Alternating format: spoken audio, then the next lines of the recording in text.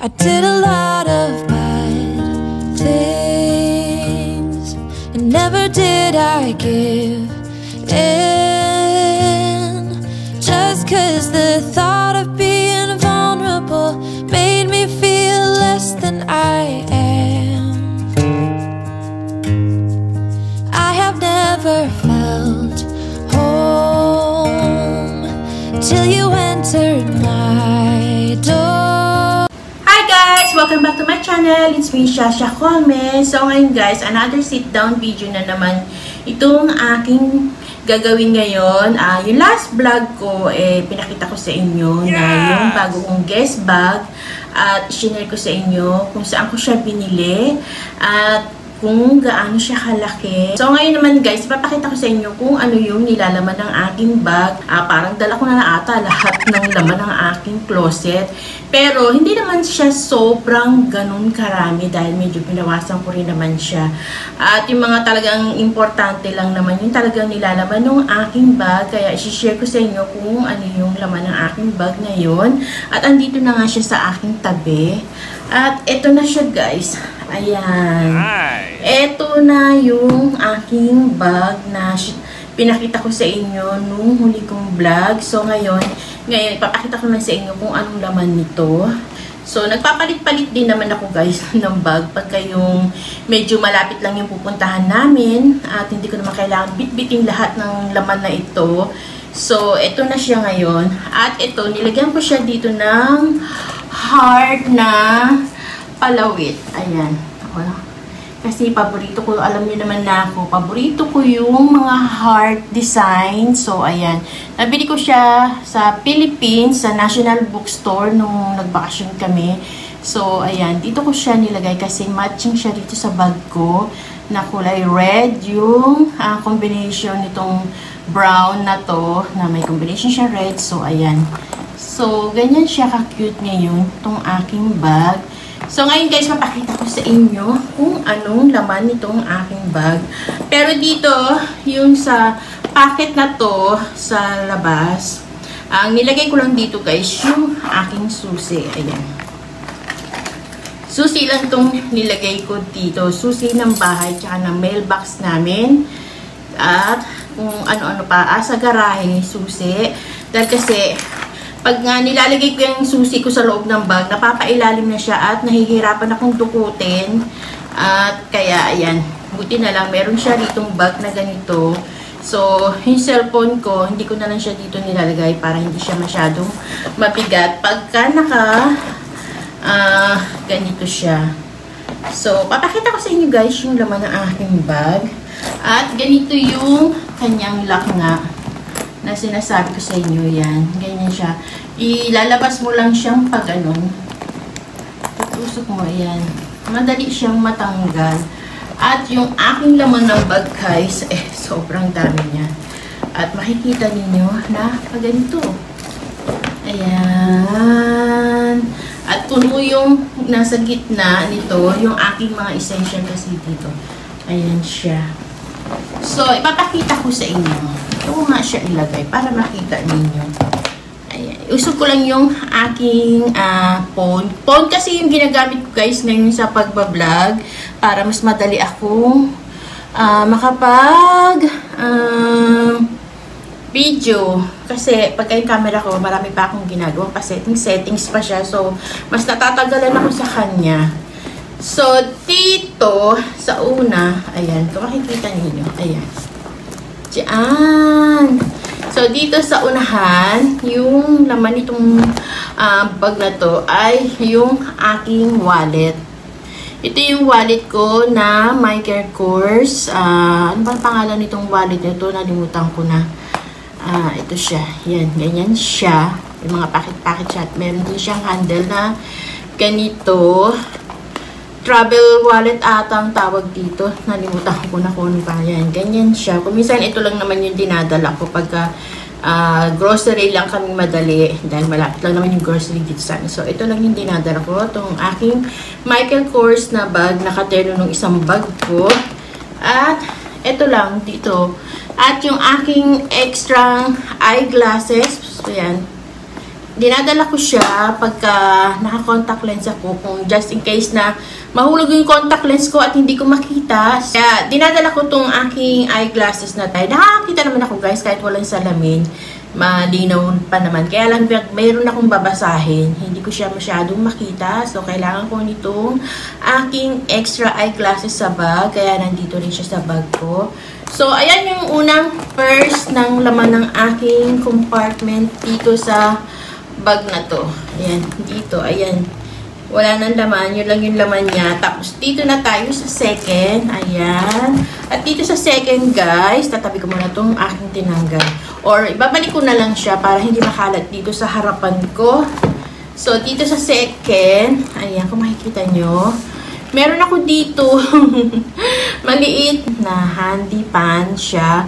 At uh, tinadala ko siya kasi nga, alam niyo naman na sobrang pawisin ako. So, pangmukha lang naman yan. Ganito. Malakas naman siya guys. At ayan, dito, dito ko lang siya ginagamit sa mukha ko. Pag kayo nasa isang lugar kami at mainit, hawak ko lang to. Ayan. Meron na akong pan. So, ayan, dinadala ko siya. Ayan. Hanggang number 3 naman siya guys. Kaya malakas itong pan na to. So, ayan, dinadala ko rin siya. At ito, yung laman nito ay meron ako dito uh, pouch bag na nakalagay. Ito siya. Kasi nandito na lahat yung importante din na lagi kong kailangan dalhin dahil kailangan ko siya. So, andito yung aking, ayan, yung aking power bank na nakalagay. Ayan yung charger, pag naubos na yung power bank ko, tapos yung aking earpads, at itong aking power bank na yan. Ayan siya. Mat ang ganda nito guys. Uh, nabili ko siya sa eBay. Matagal na. Sobrang gamit na gamit ko to. At dito sa second naman, halo-halo na yan. Nandito na rin yung aking mga lipstick. Ayan. Dalawa yung lipstick. Uh, tatlo yung lipstick na ginagamit ko. Tapos yung brush, pang-brush ko sa powder. Hindi naman ako nagdadala ng makeup na marami kasi pag nag-ayos na ako, yun lang, retouch lang ako ng powder tsaka lipstick. At tsaka dinadala ko rin yung aking lip balm na Maybelline. Alam niyo naman ang paborito ko to. At tapos yung salamin, mirror na maliit. Tapos meron din akong isa pang lip balm na gold. Yan. Tapos yung matatawa kayo, meron ako dito toothpaste toothpick. Yan, kasi yung mister ko, pag kumakain kami sa labas, kailangan niya ng toothpick kasi minsan walang toothpick dun sa kinakainan namin. Tapos, nandito na rin yung aming susi ng car. Ayan, uh, duplicate ito. Itong isang susi sa susi ng mister ko at itong susi naman na to, eh, duplicate doon sa car ng bunso kong anak. At meron din ako ditong, ayan, nail cutter. Tapos, ano pa bang naman? Ayan, meron ako ditong medicine na Panadol pagka sumakit yung ulo ko. At ayan, dalawa yung aking mirror na maliit. At meron din ako ditong, ayan, ah, uh, white flower pag masakit yung ulo. At saka pag nahihilo ako, ito yung inaamoy ko sa daan na white flower, kailangan meron ako nito ginaamoy-amoy. Tapos, meron din yung gamot yung mister ko dito ng quick ease para sa heartburn niya. Yan. Ito kasi yung lagi niyang kinakain. At meron ako dito uh, pampatak ng mata. Pagka nangangati mata ko o nagda-dry yung aking mata, lalo na pag naka-contact lens. Ito yung ginagamit ko guys. Nakalagay dito.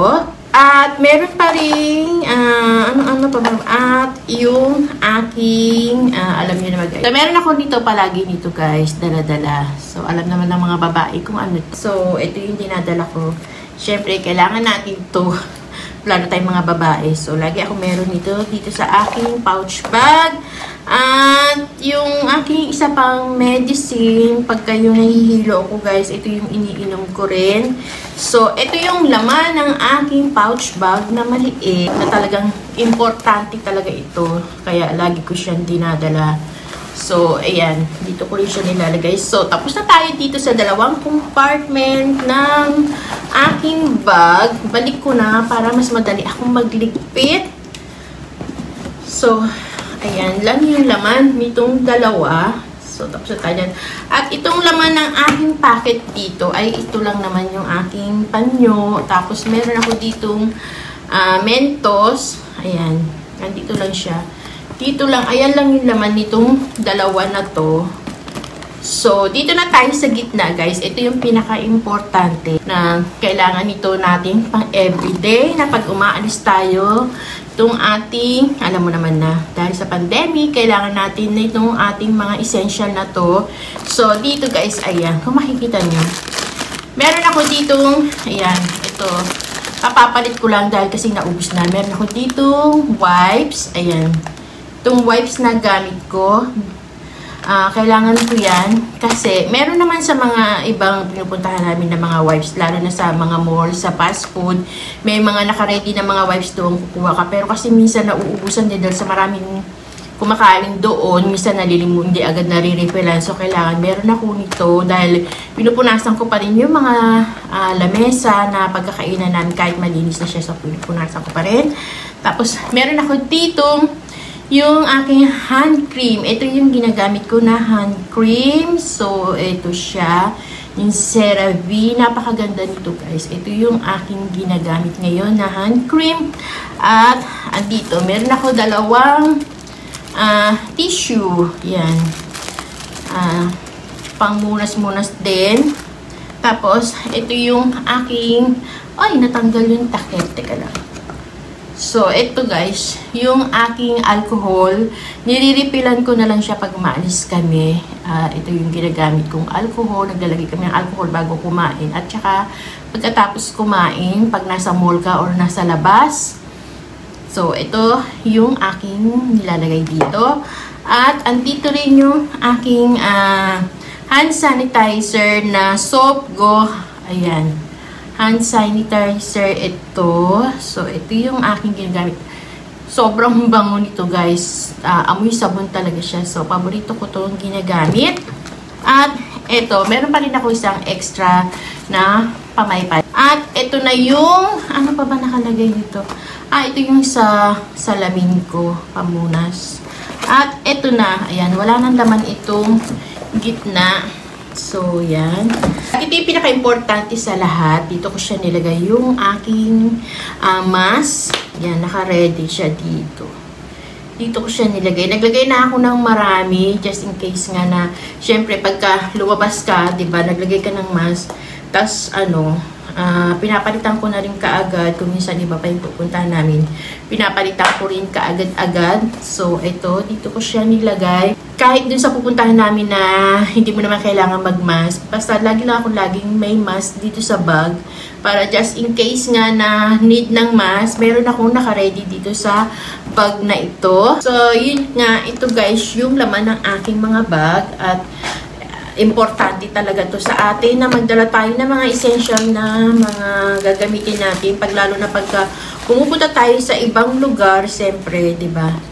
di mo sigurado. Kahit sabihin mong walang virus na doon, pero wag pa rin tayo maging kampante. Pero laging ready pa rin yung ating mga essential sa ating mga bag. Ayan.